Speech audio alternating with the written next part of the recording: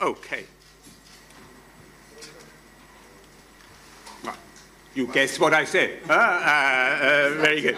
So we are here in the business and economic session, and we will look at um, how to better connect and how to better integrate this region. To look at what is at stake and to look also on how do we actually get there. As you've seen, I'm your humble moderator. I will try to guide you through two and a half hours of uh, intense work. Also leave half an hour for the coffee break. Now, uh, maybe some more logistic housekeeping uh, uh information uh, for the languages. You can follow this in Macedonian, channel 1, Albanian, channel 2, English, channel 3. I also uh, should tell you that I've been instructed by the organizers to call the speakers only by their names and by their surname. So don't be surprised that uh, I look uh, unpolite. So, um, and actually, without any ado, I immediately invite both Fatmir Bytyqi and Fatmir Besimi for their opening remarks. Fatmir Bytyqi, the floor is yours. But you, you used both the name and surname, huh? Yeah, that's okay. okay. so funny. Yeah. yeah. Two Fatmirs. okay. Thank you, Mr. Defa, respected panelists, respected guests. Uh, today, really, I'm honored uh, to be the chair in this early morning economic session together with my colleague Fatmir Besimi, the Minister of Finance, and as well to be together with you. It brings me uh, such joy to see what constructive and open dialogue can do. First, it led to PRESPA agreement a couple of years ago, and today it brings us all together in this forum in a stage when we are trying to recover after pandemics. I think that this is the power of openness and mutual respect. It can only bring prospect and mutual growth. And this is what we are all going to talk about today, the future of our region. Western Balkan region can be seen as a set of several countries, different one. Someone says six, someone says eight, or even ten. But I usually want to say that it can be seen as one as well, with a common history, similar economic structure, and similar problems. Coronavirus has showed that there are no borders. Immigration actually does not stop in the Balkans or on the EU borders. Amazon actually threats traditional shops, not only in Ljubljana, but as well it threats all of us in Zagreb, Sarajevo, Pristina, Belgrade, Tirana, and as well in Skopje. And as well, air pollution does not stop at the cross-border points. It's all around. As we are entering the post-COVID period of recovery, we have a unique chance to build back better and together. So let's put our efforts into, as I say, regional competitiveness instead of regional competition. As we work towards common regional market, a stepping stone towards EU single market that will strengthen our economic integration.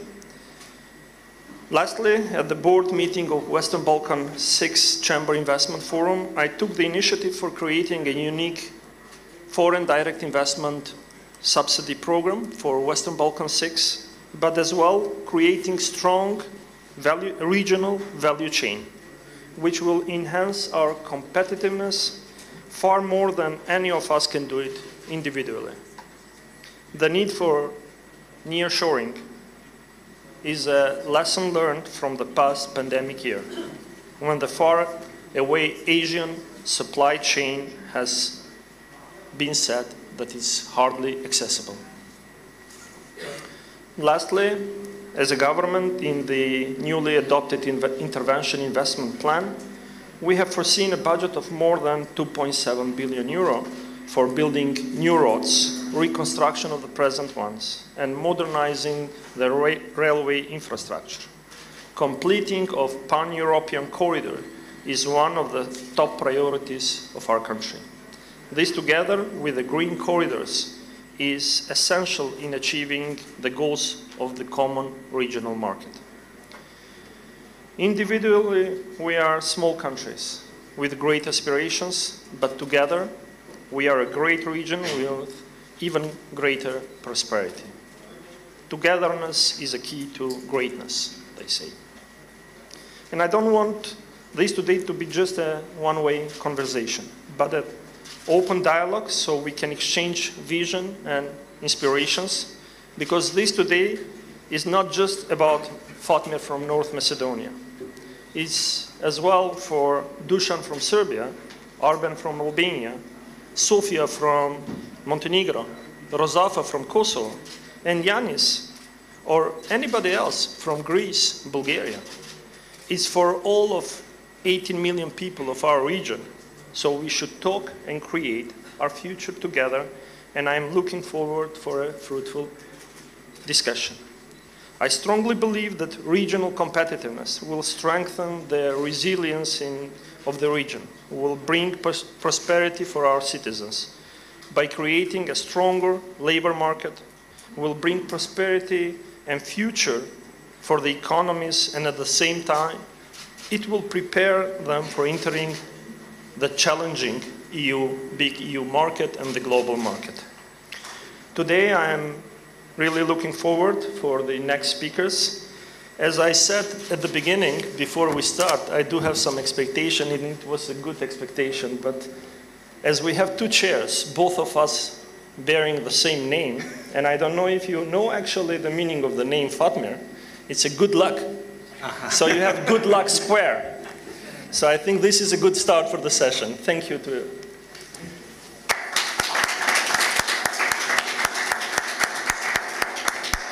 I would note, if I may, Mr. Minister, that all those people you named are actually from Chicago.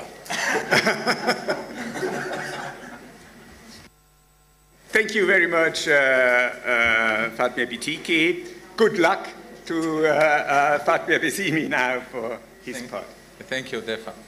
Uh, good morning, everyone. Uh, I'm really pleased to see this uh, conference starting, de facto starting uh, in the morning with this panel and one parallel one in the other rooms, but in afternoon the official part. But what I would like to say, if, and I guess it's the same in the States and uh, in Germany and other countries, uh, you can recognize the day from the morning.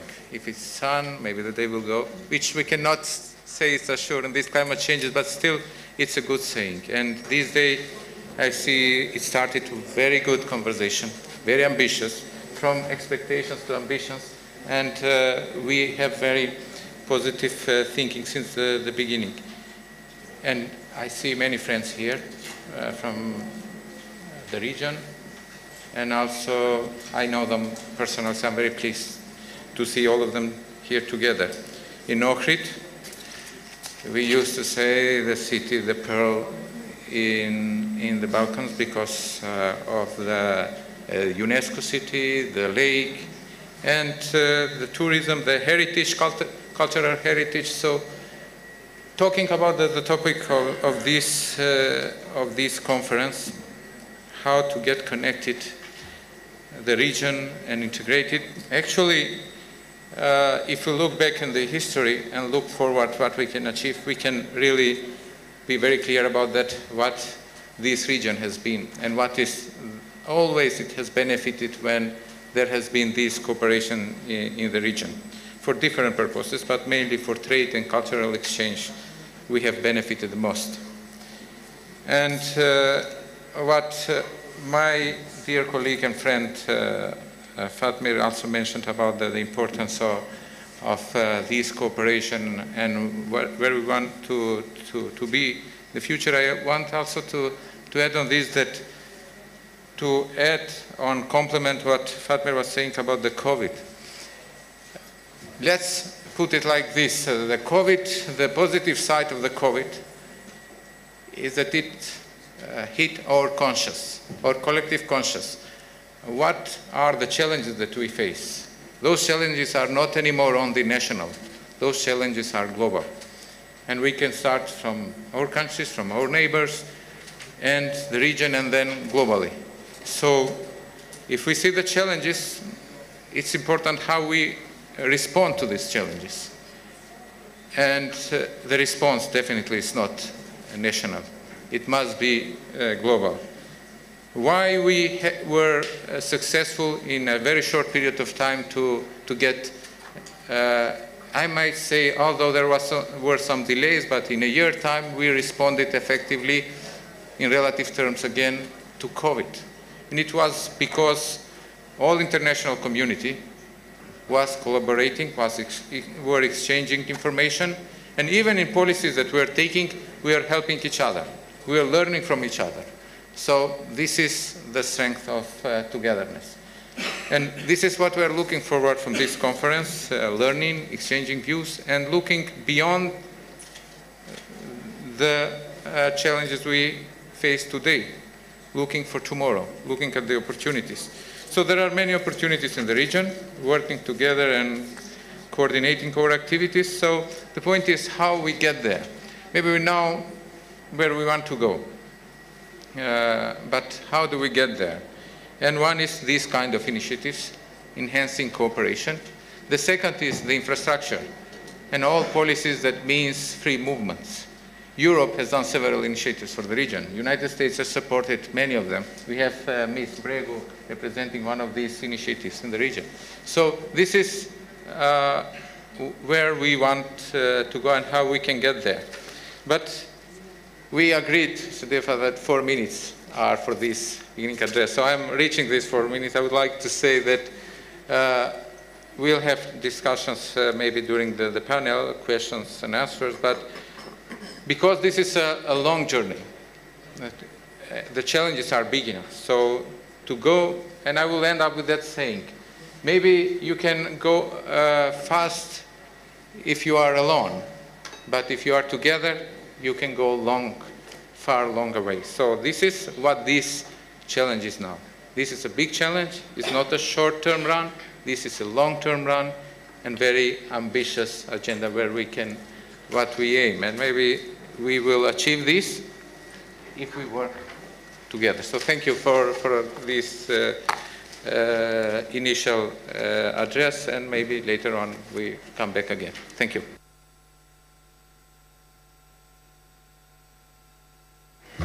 Thank you so much, uh, Fatimir Besimi, and uh, the plea for this long journey together. After these openings, uh, let's now turn to the key speech, setting the scene for the deliberations of our session. And uh, I don't have to introduce anybody, uh, uh, everybody knows him. It's a great privilege to welcome Matthew Palmer here. So the floor is yours. Thanks very much. Thanks to you, Mr. Moderator. Thank you to the organizers of this year's PRESPA Forum. It um, is the first of what I anticipate will be an annual event and one of the real, I expect, highlights of the conference season. Uh, I do want to begin by acknowledging the region's tremendous work on building connections and deepening integration during what has been an immensely difficult year for all of us.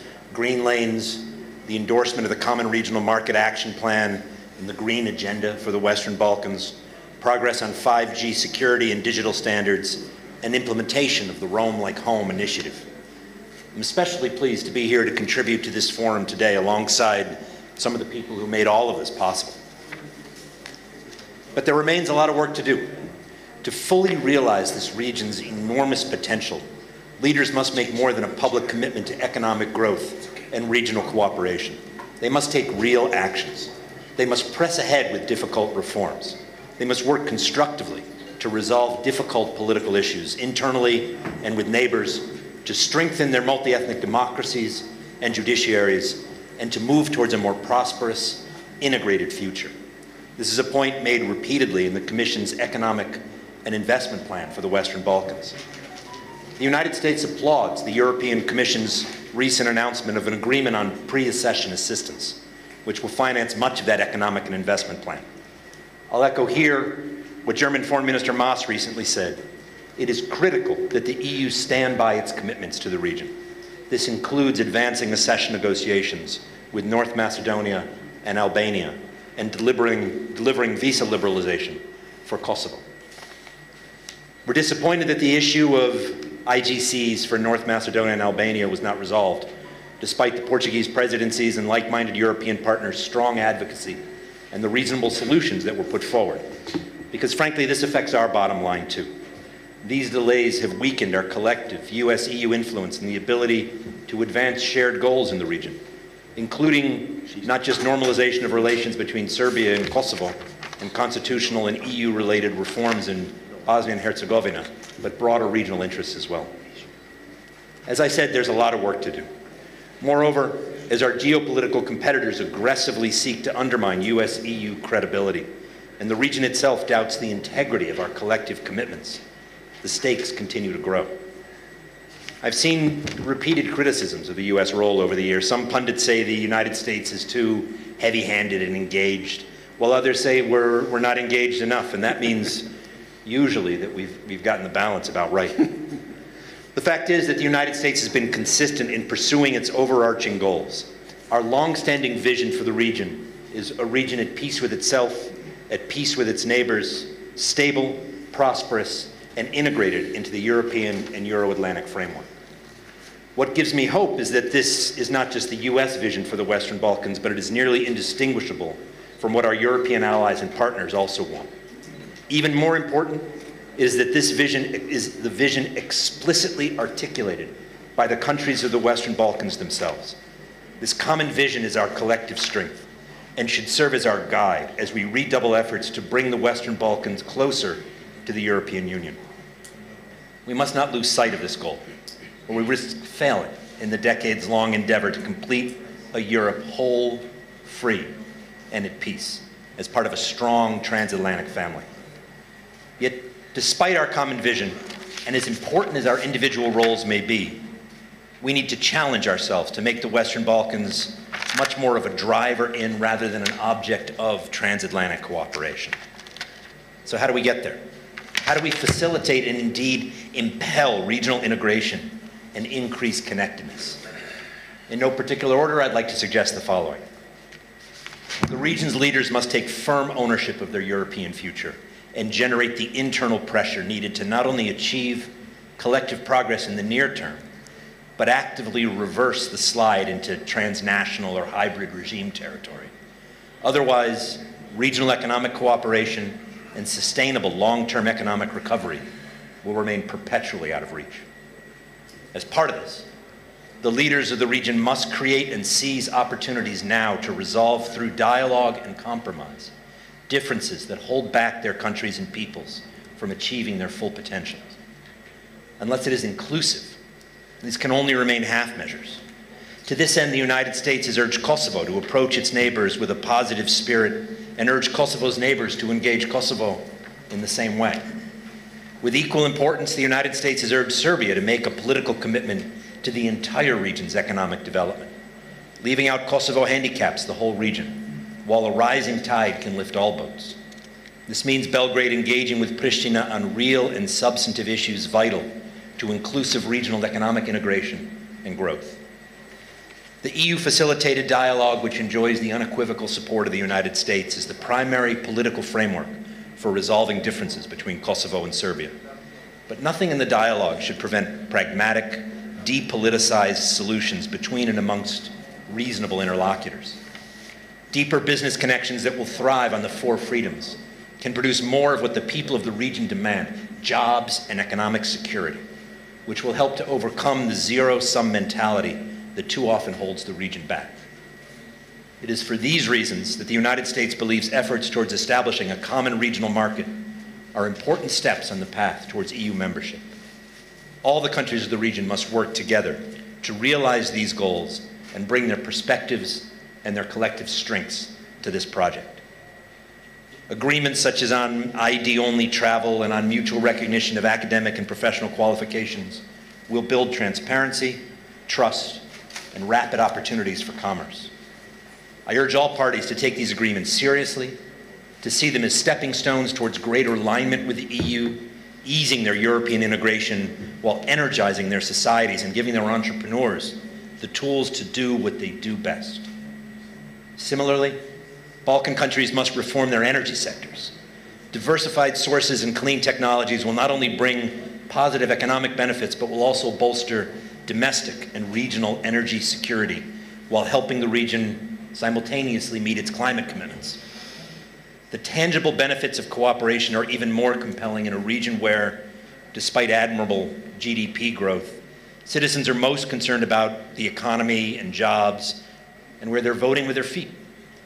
The last decade has seen the region lose a substantial number of highly skilled workers to jobs elsewhere, some of which they may even be overqualified for.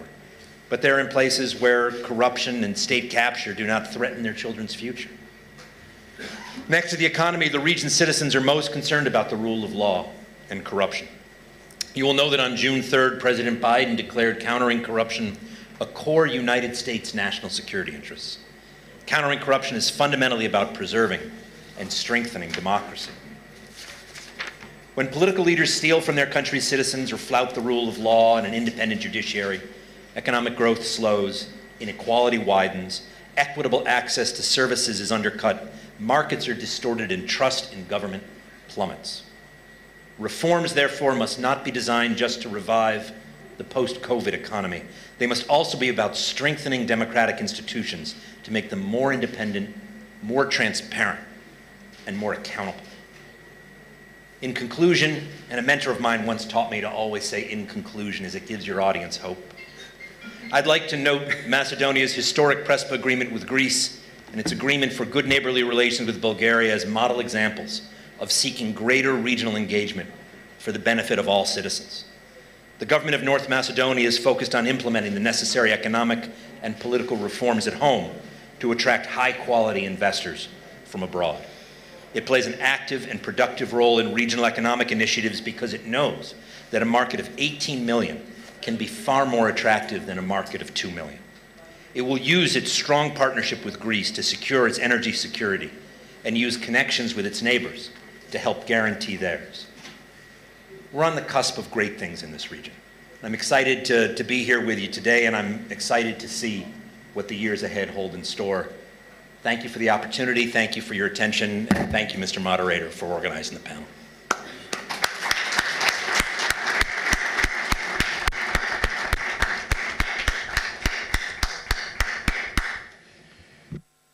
Thank you very much, uh, uh, Matthew Palmer, for this broad coverage of setting the scene. And uh, the, applause, the, applause, has uh, told it all. Um, now we come um, to uh, the podium, to the speakers uh, here on the podium.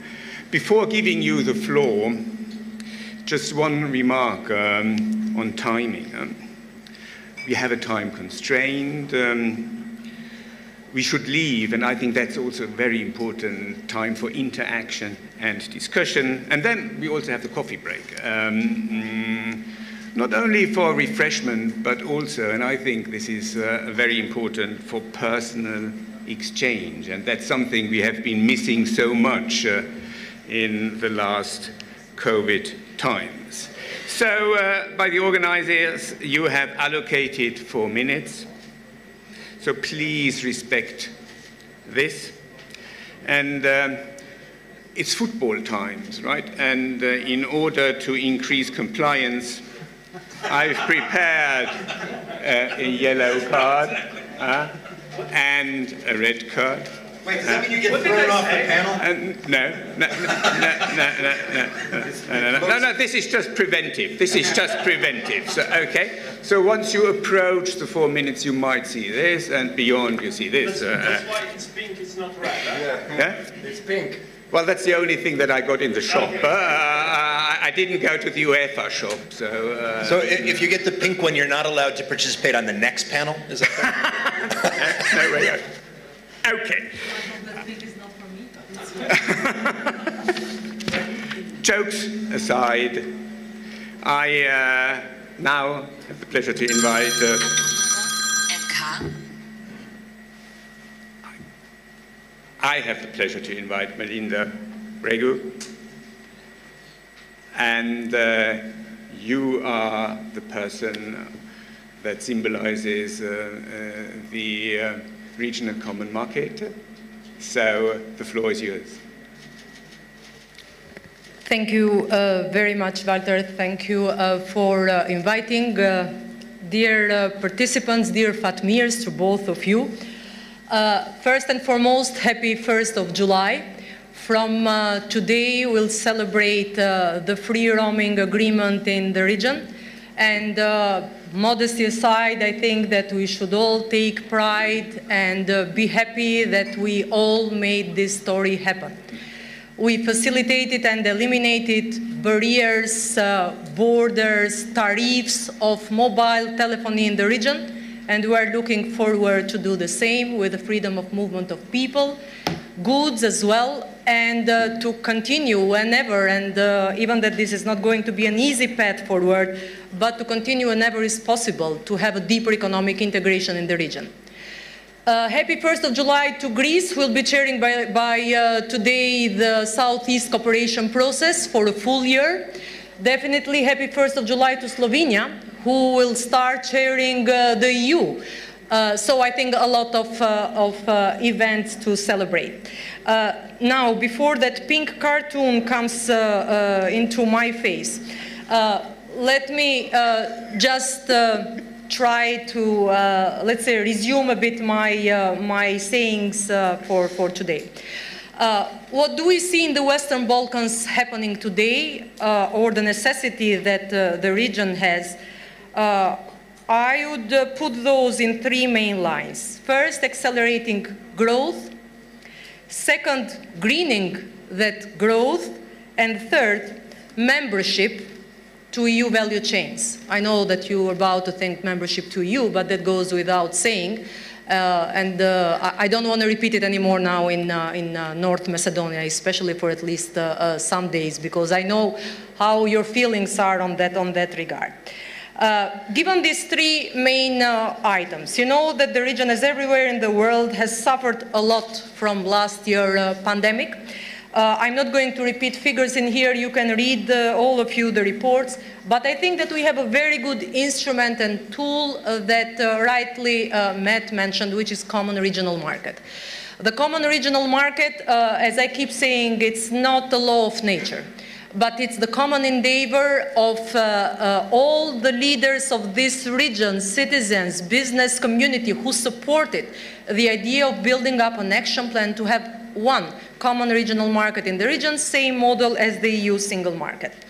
Again, the common regional market is based on those famous four freedoms that are part or uh, the same model of the EU single market, and uh, it's enlarged with the digital agenda, which is quite important uh, with the industrial one uh, and uh, then continuing with other uh, pillars that are quite important uh, as well to be part of the common regional market on the investment and so on. Uh, but business uh, community, as uh, reported in our uh, uh, in the latest Balkan barometer, they report that they have been selling only domestically during the last years, which is not strange given that our economies are dominated by micro and small enterprises. Only 7% of small and medium enterprises reported uh, exported to the Western Balkans, while uh, only 6% of them said that they are exporting in EU and 1% elsewhere.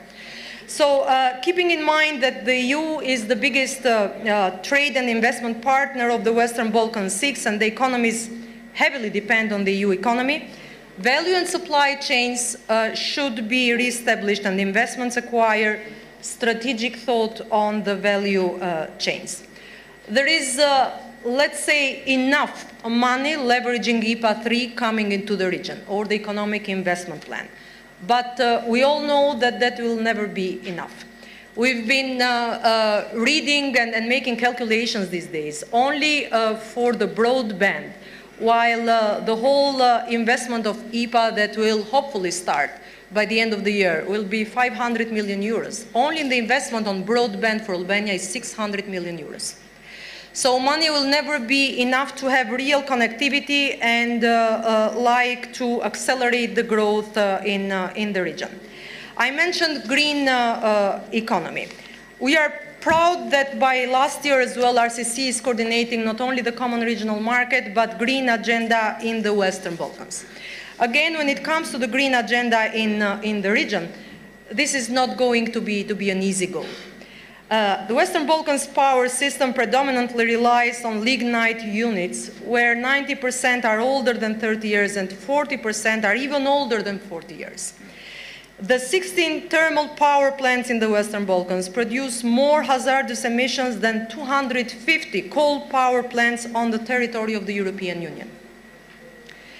And it is now clear how the countries will need to finance a lot on the social, environmental and energy costs uh, of closing those coal mines, but it is not clear where we are going to find that money to do that. And this is the heart of the decarbonization uh, efforts. Based on the calculations, investment in the case of lignite exit through 2050 amount to around 38, 40 billion euros for Western Balkans. Said that, now again, I uh, need to mention why it's quite important the Europeanization of the value chains. I see the red card. No, no, no, it's, no, no, no, no, no. it's yellow, sorry. It's yellow. Uh, okay, it's uh, then it's better. Sometimes lenient. it's better when you have problems with eyes because, uh, because you don't recognize the colors. So the Europeanization of, uh, of the value chains is of crucial importance for the Western Balkans economies by reason of geographical proximity, on, based on the existing structures of our economies and ongoing EU accession and alignment uh, processes. So, said that, I do hope that we'll not only have the political leadership quite keen uh, and respectful to the commitments uh, that they themselves endorse, but as well, I hope that uh, we will uh, uh, as well have not only the support, uh, let's say, the one that is, that is quite generous coming from the EU in terms of grants, but first and furthermore, we need to change our structural economies in order to have uh, uh, some uh, uh, more, let's say, good loans and as well to direct those in those areas that are quite important, digital mostly and foremost for the moment. Thank you. No pink card?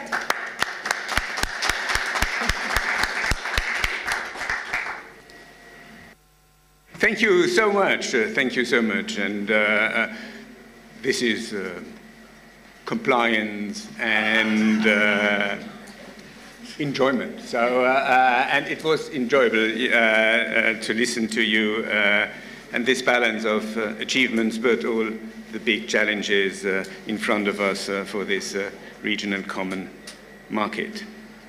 We now come um, to more uh, something like the business perspective, the business perspective, uh, um, and uh, to see uh, what are the attitudes, what are the expectations of the business community. And it's my pleasure to ask Antoni Peshev, who has a double role.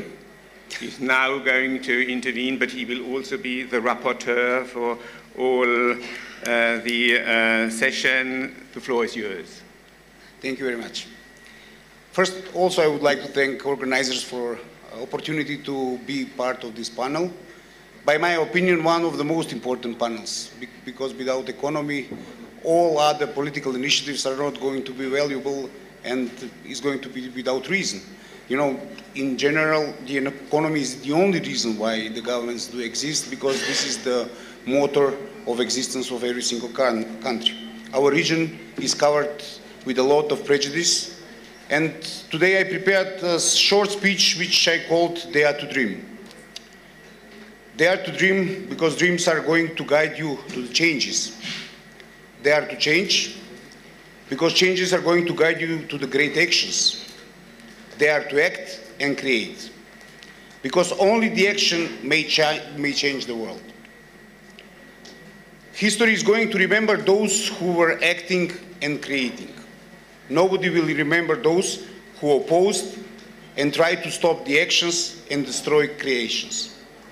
Prespa agreement is synonymous for this great philosophy.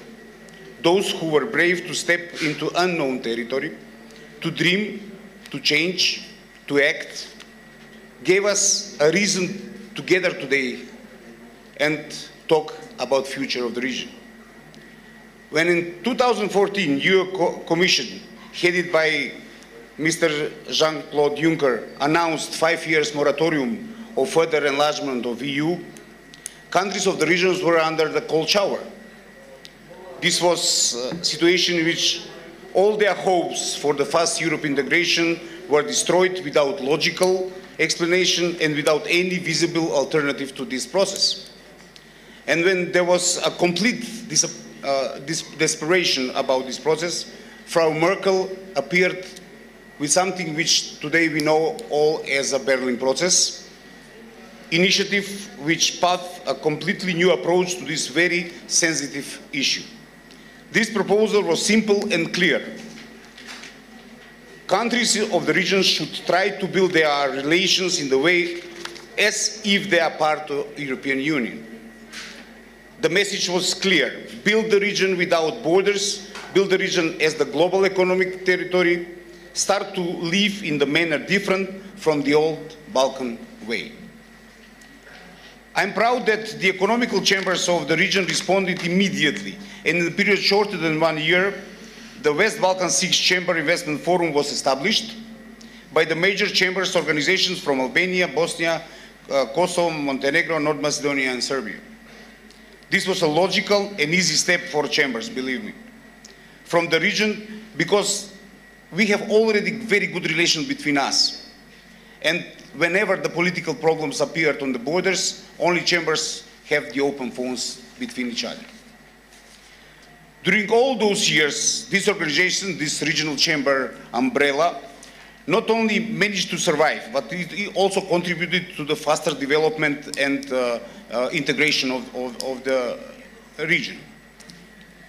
It builds strong links between the business operators and tried to build foundation for the integrated economic space, territory without borders, customs, and non-tariff barriers. The results are visible and measurable. In the period 2014-2020, regional GDP growth 28%, from 77 billion euros in 2014 to 101 billion euros in 2019. Total value of the foreign direct investment in the region reached the level of 35 billion euros. GDP per capita reached the level of 5,600 euros, which is growth of a significant 31%, but still much lower than, uh, than the average level of European Union, of European 27 countries. So, I can further illustrate the benefits of regional economic cooperation, but I saw the yellow uh, signal there. And in- encourage you to, to visit the website of this organization where you're going to find very analytical data of all these aspects. I hope that the governments and political authorities are, go, uh, are going to recognize the importance of the regional cooperation and follow the steps toward the political uh, unification of the region, converting it to the region without borders, open political issues, without conflicts and tensions of any kind. This is the only way which will show that the de facto geographical part of the Europe is going to become the uh, real part of the European Union, which is a real desire for all these countries for more than three decades. Thank you very much.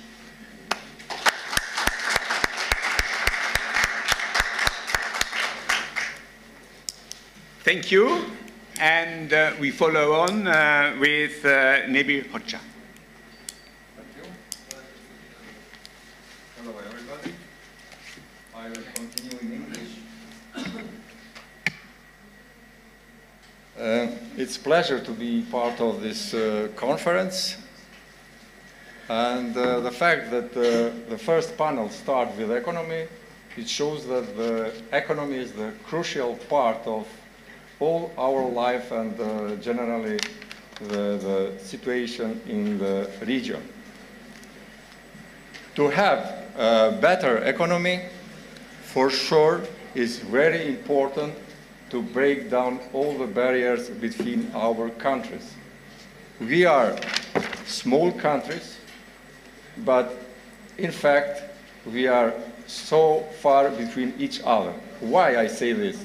Because between our capitals, for instance, Skopje to Tirana, we have only 159 kilometers difference. We need five hour driving. Skopje, Pristina as well is less than 80 kilometers.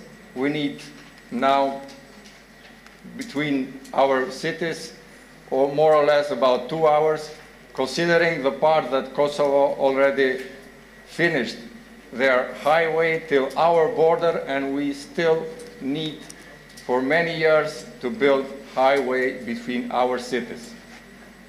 This is the, the, the sickness of our uh, uh, mentality because we need to be synchronized between all our institutions and our governments because in one side they build the highway and in the other side we still have uh, ways that are not in the same level. To have better business conditions as well, we need also to change a lot of things in our countries because we need to start uh, uh, working against organized crime, cooperating between our countries also is very important. And for that reason the citizens of our uh, countries need to have better conditions for life just to stay in our country and don't emigrate in uh, North and Europe. As well as I mentioned, the other things that we need for better economic and stability is macroeconomic stability in our country, skills, professional education, and one important thing uh, that we have a summit a few days ago in Kosovo is uh, the importance of the professional education uh, people that uh, we need in our private sector. In our country, we have unemployment around 17%. In Kosovo, it's more than 26%. But in the other side, business need and miss the skilled people for their uh, companies. So we need to have uh, big reforms in our institutions, to have better educational systems comparing the needs of the business.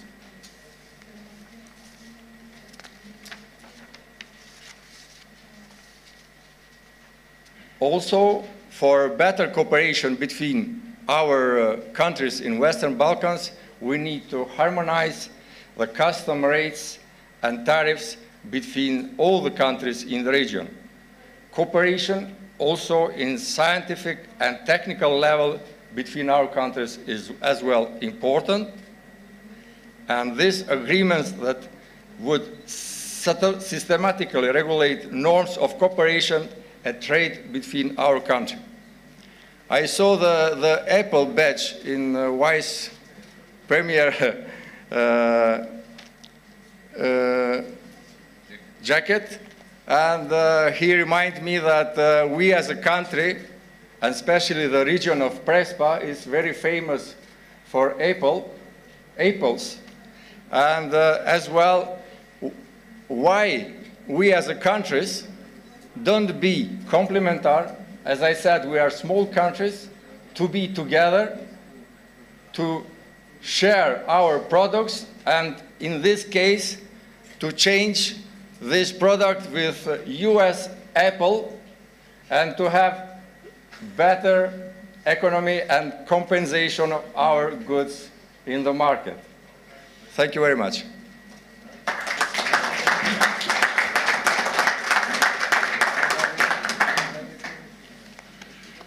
Thank you very much for these uh, two business uh, um, views, very important. And uh, there is a bit of an uncertainty whether Mrs. Um,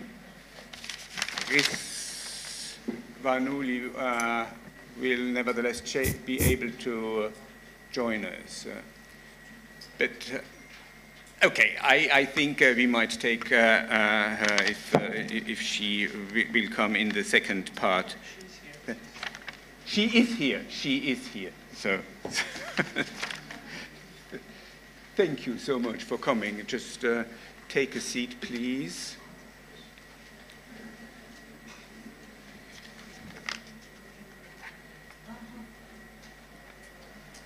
And uh, welcome uh, Mrs. Artane Rizvanolli. Um, you have uh, four minutes, and uh, we have a bit of a football um, regime, uh, so in order not to waste any time, the floor is yours. Uh, thank you very much. Thank you very much. First of all, I would like to apologize for this uncertainty. I'm sorry, I was not, um, I had a different agenda and I thought that my panel, I would be in the second panel. Uh, but I just realized that I'm actually in the first panel while I had to attend another panel in the meantime. So I was called running. I was called running. Uh, but um, uh, anyway, I apologize for this. Um, uh, dear uh, ministers, uh, political leaders, civil society representatives, uh, distinguished guests, it is a great pleasure for me uh, to be here today in the Prespa Forum Dialogue representing Republic of Kosovo. I would like to start by thanking the North Macedonian government, particularly the Minister of Foreign Affairs, Mr. Bujar Osmani, for bringing us all together to discuss such important topics regarding uh, regional economic and political cooperation. This uh, forum is being held at what we can hopefully call the verge of the post-pandemic era, uh, which was the greatest global health crisis and economic challenge we have faced since World War II. And uh, this period has not only shed light on the existing inequalities that we have among countries, but also uh, among uh, individuals with different socioeconomic backgrounds, but also among men and women and among countries as a whole. Uh, so it has made us think also about the impact that we have uh, on our planet. And it has had a few positive impacts like uh, reducing CO2 emissions and overconsumption in general. And um, for um, Many businesses, on the other hand, uh, it has also had a positive impact in that uh, it has provided the impetus for adaptation and innovation, particularly through digitalization. We have definitely seen this in many sectors in Kosovo, whereby traditional sectors uh, have made uh, greater efforts to digitalize and to be able to provide services, better quality services at a time of a pandemic uh, online. Um, the pandemic has also opened new perspectives for the regions in terms of uh, nearshoring opportunities as European firms look to build more diverse and resilient supply chains. And being a small region with merely 18 uh, million people and a combined GDP that is less than 40% of Poland's, enhancing regional cooperation and integration will no, help, no doubt uh, help reap these benefits among other benefits. However, uh, regional economic cooperation and integration is not the holy grail that will address all our political and economic challenges in the region. A recent study by Vienna Institute um, which has um, looked into how the region can uh, reap the benefits of such opportunities of nearshoring, has suggested that skilled labor investment in human capital and uh, improving infrastructure and governance would be the most important, important factors in being uh, able to make sure uh, that we use such opportunities. In this context, I would say that skilled labor and governance are major weaknesses in our countries across the region. And one indicator for this is the emigration that we've had of uh, young and particularly young skilled labor, which in, has, which in a recent forum uh, here in Skopje has been actually termed exodus of young skilled individuals. And uh, we have actually um, researched the reason for this in Kosovo, and I think they hold across the region. The, re the reasons for this emigration uh, extend well beyond economic reasons, and they have to do with quality of life, with healthcare uh, services, education, rule of law, equal treatment by institutions, to name but a few. I think that is a clear message for us policymakers across the region, but also beyond, that uh, economic development and economic integration alone is not sufficient. And without addressing these other issues, we are actually also undermining economic development and integration in itself. Um, we can promote labor mobility, we can recognize each other's uh, qualifications and uh, remove work permits. However, uh, these initiatives will not reach their full potential if uh, our youth don't want to stay at home or in the region, but they are seeking the EU. Uh, similarly, in the absence of rule of law, legal certainty, and a corruption-free business environment, initiatives improving capital mobility will not reach their full potential. Across the region, we need democratization, rule of law, anti-corruption, governmental accountability, freedom of media, because only this way we can unleash the economic potential of our countries and uh, improve the lives of our citizens. Uh, but also, we must keep in mind that economic cooperation and integration itself does not happen automatically and it does not happen in a vacuum. We are a small region, but a war-torn one just 20, 30 years ago. And in order for genuine cooperation and integration, we must address the prejudices that we have among each other. And for this, communication among our citizens is key. Um, this can only happen if we face the past and hold responsible those who were responsible for the dark side of our recent history so that we free ourselves, uh, our citizens, from assigning collective guilt and uh, responsibility to whole nations. Ironically, it is precisely these joint political and socio-economic challenges that tend to make us overcome our differences and uh, realize our similarities in my um, personal experience. And there are particularly Um, there are particularly two uh, factors that I would say make me optimistic about the future of our countries individually, but also of our region. And that is our youth, uh, which tends to be higher educated, more open-minded, and with the communication tools at hand to be able uh, to communicate better and to get to know each other better and um, uh, to actually make the cooperation and integration that we want work together. And the other one, particularly for Kosovo, I would say, is our diaspora. But I think this, to various extents, also applies to other countries in the region. Uh, we have strong diasporas, again, uh, many of them well educated, with capital, who are willing to invest at home, especially if they uh, have trust in government and if they see that uh, economic conditions uh, for all investors uh, are improving because um, diaspora investors are at the end of the day also uh, foreign direct investors and they are seeking the same uh, opportunities and um, they have the same objectives and are looking for the same conditions. And uh, I think um, if we manage to create this, these uh, political and economic um, preconditions, and if we can make use, best use of our youth, educate them, and make sure that we create the opportunities for them to remain at home rather than seek employment abroad, but also to attract uh, diaspora investment, then I think these can be two factors which can greatly affect uh, our economic development individually and jointly as a region. Thank you.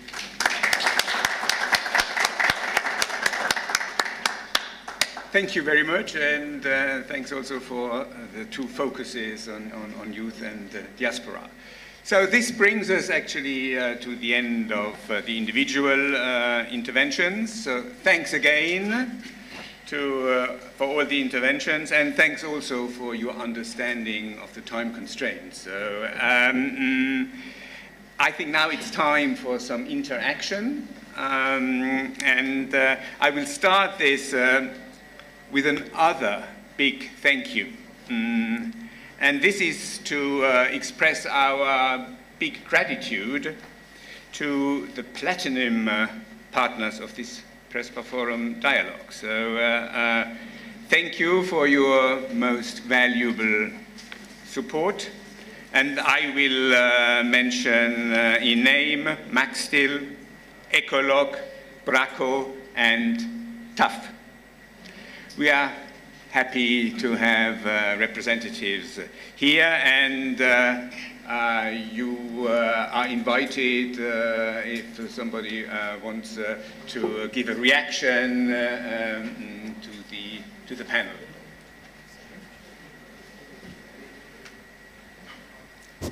Yes, hello. Thank you, thank you, Mr. Defa. Thank you, panelists. Thank you for, for the invitation and for the possibility to hear, uh, for the possibility to present the, the ideas of the business sector. Uh, I think that I'm speaking for all the business sector of the region when I say that infrastructure is a dire need for, for all the economies of the region. Uh, a lot of a lot of discussions have been done saying that we are going towards a common market but it's very difficult to have a common market when we don't have uh, infrastructure that will support the free flow of ideas of goods of people which is one of the basis of the basic pillars of the foundations of the European Union. So I think infrastructure is something that is very important uh, for, for all of us and uh, it's not important how it's done if the countries are doing it uh, themselves, which not always works, as, as we know. Uh, if it's done through some European fund, funds, if it's done through some private uh, companies with concessions, but infrastructures is, is very important. Uh, the Corridor 8 is almost non-existent in Albania and North Macedonia. There is a part in Bulgaria that's working, but that's it. And I'm not speaking about uh, roads, highways, but also uh, railways, uh, which, is, which is also something that we are probably in the 19th century by, by the level of, of availability of rail transport in the region. Uh, so I think that uh, we must uh, push this agenda forward to, to the, the, European Union, to, to all the partners of, of, the region, to all the allies that we have, so that this is done as soon as possible. Uh, because, as, as uh, Mrs. Bregu said, we have free roaming, but nobody will take five hours to go to Tirana from Skopje, so that he can use the, the free roaming there. Uh, another thing that I think that is important for the region is the sense of, um, of uh, let's say, participation in the EU economically, because uh, we are often, let's say, left aside as, uh, as um, any other country anywhere in the world, although we're, if not in the EU, we're next door neighbors some of the safeguard measures that were imposed in the, in the past several years have uh, in some way hit us and in this, uh, I would say, clash of, of uh, titans, we are collateral damage because we are treated as any other country. And I'm afraid that this um, decarbonization that is forthcoming will, will also have a big impact if the EU doesn't uh, treat us as, as uh, let's say, close uh, neighbors or, uh, or uh, let's say, allies in, in this process of decarbonization. The, the, the forthcoming uh, carbon border adjustment mechanism will also affect the, the, the, economies of the region and if we're left on, our, on, on ourselves, this may be uh, a big economic burden and for somebody even it would mean uh, closing the activities, which is something I don't think that anybody wants. Thank you. This would be my, my intervention. Thank you very much. Thank you very much. Okay, one more, but uh, then we should go. Hey. Very short. Okay, from uh, uh, from Ecolog, right? So, yes, okay. yes. In uh, two roles, Ecolog as a platinum sponsor, but also as a rector of Southeast Europe University. I just want to thank all the panelists and their discussion, but just to underline a very important issue that was mentioned from our colleagues as an infrastructure needs, I will add as a superstructure needs. So education, culture, and human capital, it's needed a lot. Thank you very much. Thank you. Thank you very much for this uh, clear plea. And uh, we uh, have uh, still some. Sorry, I. Oh. Okay, sorry, sorry. I, I did not see you. Thank you very much. Uh, Ambassador Miloš Prica, Ambassador at Large from the Ministry of Foreign Affairs, Sarajevo, Bosnia and Herzegovina. Just uh, uh, very, very quickly, uh, regarding, the, uh, uh, regarding the infrastructure, regarding the uh, upswing in our economies, all the measures that we have heard that are in preparation and also taking place at the moment are uh, very positive and uh, moving uh, us toward the right direction. There is, no, there is no doubt about that. But frankly speaking, without massive investment by the EU uh, into the infrastructure in our countries, you, you look at just uh, IPA 3 with 14.1 billion or 14.3 billion uh, euros for the period from 1st of January this year till uh, 2027. When you just divide, Turkey is also, uh, uh, also included in this. When you divide to the years, when you divide to the countries, it's not something that will make a really decisive change on the ground. We need a real Marshall Plan regarding that. Just to remind everyone here that during the, during the, that was for many years, ECB, European Central Bank, for, for several years, every month printed to 80 billion euros, which is so-called quantitative easing. 80 billion euros per month. We need much more to really move forward fastly regarding the infrastructure, but also what we heard from, uh, from others here for upgrading our other services like education, like uh, like uh, healthcare and other things. With, that means that these things that are now, uh, we are having as recipients of, of, of, uh, of, uh, of this assistance, we very much appreciate that. It's very nice, but that is not going to make any significant upswing to our states and our brain drain to, will continue indefinitely. Thank you very much. Thank you for this position, and I turn back uh, to uh, the panel. So uh, this is a moment uh, where you might want to uh, react to uh, what you heard from the audience, and also maybe challenge positions taken, support, compliment, etc. Who wants to go ahead? Challenge the necessity for more investments. Nobody. You know, I was just thinking, who can challenge the necessity for more investments. Yes. I don't think that any of us would really dare to say that.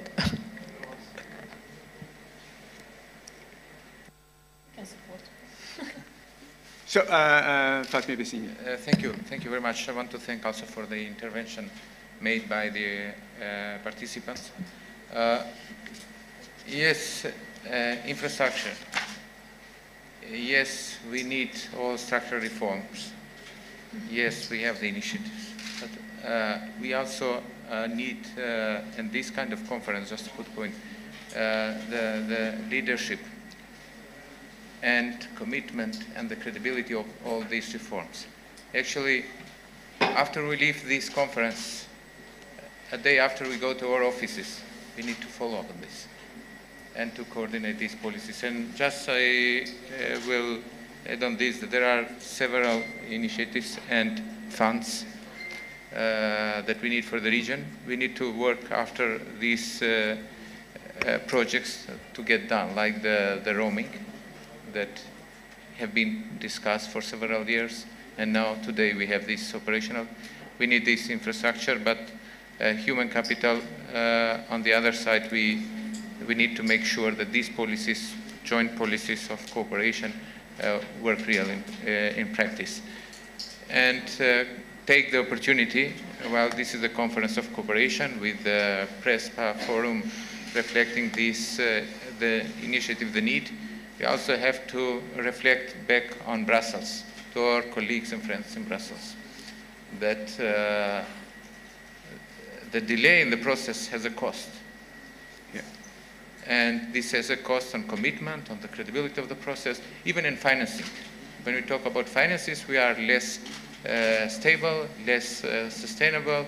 So, and the private sector legitimately looks at the figures because at the end of the day, they, they are on their own in terms of their own business and they take all the challenges. So uh, without taking further, uh, because of the time we will have later, I just want to, to say this, that yes, we should, we are doing our part, but we should be together. And togetherness means uh, that uh, all uh, players and partners uh, work, work together, as I said earlier. And please also the, the, the suggestion for our colleagues in, in EU. I know that they are later on on the panels, but also we should have here. I know Ms. Bregu represents the regional initiative, but we have to have our friends from, from Europe as well.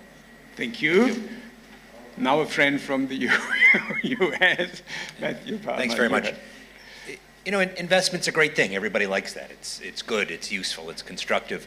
Uh, but, but it can also focus on, on investment and the desire for investment can be a way for leaders to absolve themselves of responsibility as well. The idea that salvation somehow needs to come from the outside. And I, I can't count the number of times that, that leaders across the Western Balkans have said to me, you, Matt, you, the United States, deliver for us, please, investments by American business, as though American business is responsive to orders from the United States government, which is not the way this works. Um, and, and what I, I regularly and consistently tell folks here is take responsibility for your own futures, take responsibility for your own destiny, take the actions in those areas that you can control. Transparency, good governance, a strong judiciary, accountability. The money will come there is money sloshing around the international system looking for places that it can go and invest and make a reasonable return. And it is up to the countries of the Western Balkans, it's up to the leaders of the Western Balkans to create climates that are conducive to that kind of international investment. And when that is secured, the money will follow. It's got to be cart before the horse. Excuse me, horse before the cart. Very good. Thank you so much. Thank you so much. Fatmir Bytyqi. No, uh, actually, I was probably I needed to talk in before you because what we what we yeah yeah yeah what we actually heard is that uh, yeah we we probably all of us we raise several things and but most of them are effects they are not causes we are talking on poor infrastructure and that's effect of not doing it for 30 years. We are talking on fighting corruption because for 30 years no one actually fighted the corruption and obviously that's the cause of the problems. We are talking on being uh, open, having good governance, transparent, accountability, and that's because actually that happened before. And I think that uh, today we have to raise the, the issue what we have to do or to take instead as a, uh, as a decision makers in order to address all the causes because everything else will come afterwards. And I do not fully agree when we approach towards the Europeans or others, please bring us funds because we have to do our homework here. We have to fight really the corruption we have to show that we are able, for good governance, being transparent, accountable, creating the, the system, creating the policies, and afterwards, the funding will be used in a more efficient and effective way. And actually, for 30 years, Western Balkan has suffered on using in a more, in less efficient and effective way the resources that were actually pledged in Western Balkan 6. I usually want to say starting from the domestic resources. In our country, in last 30 years, annual budget can be counted with billions, more one, than 100 billion. At the end of the day, we are still talking of a road not built of 100 million. That's only 1% mm-hmm. of the budget that we have had for 30 years. And that's not because we didn't have the resources, but probably they went somewhere else. And it is about us today to do our homework and actually create the space that platinum sponsors will be safer and trustful about what we do in order to invest. And then, probably tomorrow, we might speak easier if we have actually overcome all these causes that are jeopardizing our future. Thank you. Thank you so much. A, a very short one, and yes. then we are set. First, applause for the last two. Just to, to, to tell a joke about uh, the role of the infrastructure in the economy. After the building the highway between Pristina and Tirana, the citizens in Kosovo that wanted to sell a house, they say, I sell a house in Prizren that is one hour and a half from the sea. So the role of the highway is really very important. And we hope that we'll have some understanding from the EU and the money is printed there to be uh, dedicated to this very important uh, and crucial investment in the region. Thank you. Very good, thank you. Um, this brings... Uh, of course, I can't say no to the lady.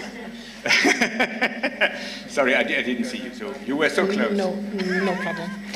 Um, thank you. I'll keep it brief. I should have spoken before uh, some of you too, and I'd just like to reiterate the um, uh, limited absorptive capacities, and that is uh, both due to inefficient, um, inefficient civil service, due to corruption, lack of rule of law, and various reasons. Uh, on the other hand, uh, I cannot really say that we don't need more support. I think, um, I think we as countries, we as policymakers need to do uh, what's on our hands, but also seek more support and uh, make best, be better use of it than we have done so far. There's one particular area that um, concerns me, particularly as Minister of uh, Economy, uh, with energy in my, my portfolio. and um, I have to be um, perhaps a bit egoist here and uh, say that um, uh, we particularly need support in the area of decarbonization. We need support in uh, planning decarbonization, no, in financing, knowing how much it will cost each of our countries, which are the technical and financial um, financial uh, challenges that we have, and then how to how to actually get there. And this is something that disproportionately, I would say, affects our countries uh, being rather late with limited technical capacities, with, but uh, also with uh, limited financial capacities. And this is one area where I think particularly, regardless of all the other uh, critiques, is something that we need EU support from. Thank you. Thank you very much. Uh, mm, now it's time for the coffee break. again, a big thank you to the speakers, to the discussant, and I hope you have a, a good refreshments, but as I said, I think the most important will be the personal exchange. And uh, just a last point for the speakers. The speakers of part one and the speakers to come for part two, there is the moment of the family photo. So uh, uh, you are guided somewhere out there to make the family photo. So enjoy the break. And please be back in time. Uh, um, 10.45 sharp. Thank you.